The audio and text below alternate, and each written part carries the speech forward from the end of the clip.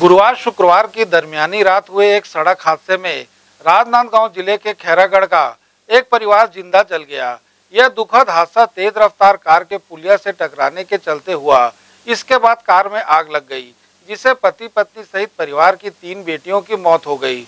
गुरुवार शुक्रवार की दरमियानी रात जब कोचर परिवार बालोद के शादी समारोह से लौट रहे थे, तभी यह हादसा हुआ। सूचना मिलने पर देर रात ही पुलिस टीम मौके पर पहुँच गई।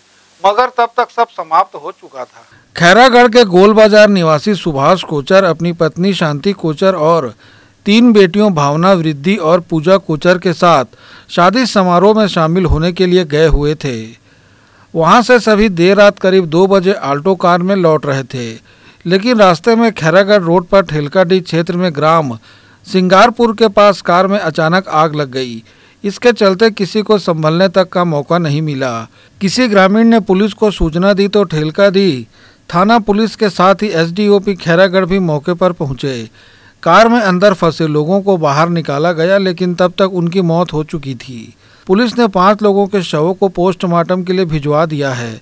प्राथमिक जाँच में ऐसा लगता है कि पुलिया से तेज रफ्तार कार टकराने के बाद पलट गई, जिससे उसमें आग लग गई। फ़िलहाल पुलिस हादसे की जाँच कर रही है। आज सुबह से फॉरेंसिक टीम मौके पर पहुंचकर जाँच में जुटी हुई है। सुभाष कोचर खैरागढ़ के बड़े व्यापारी थे। यहाँ उनका साइकिल का बड़ा शोरूम है। उनकी तीनों बेटियों की उम्र 20 से 25 साल के बीच की बताई जा रही है।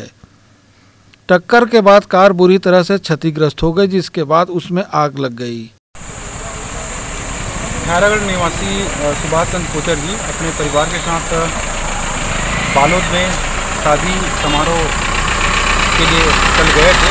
तो वहाँ लेट नाइट वहाँ से वापस अपने घर के लिए गए। इस दौरान तिलकडी थाना क्षेत्र अंतर्गत सिंगारपुर, गोपालपुर गाँव है। वहाँ पे मेन रोड में ही और उनकी गाड़ी एक्सीडेंट हुआ और जो पुल की डिवाइडर है वहाँ से टकरा के एक्सीडेंट होने पश्चात आग लग गई, जिसमें उनकी सभी सदस्य जिसमें पाँच लोग थे परिवार के, उनकी मौके पे जलकर डेथ हो गई। दस समय पुलिस पार्टी सूचना के आधार पर वहाँ पर पहुँची थी और आग को वहाँ पर बुझाया गया। बाकी उनके बॉडी को यहाँ से हमारे सड़क पंचनामा करके भेजा गया है। मेडिकल कॉलेज, अस्पताल, नामगांव के लिए। इस घटना के बाद से खैरागढ़ में शोक की लहर व्याप्त है। ग्रैंड एशियन न्यूज़ के लिए शाहिन खान की रिपोर्ट।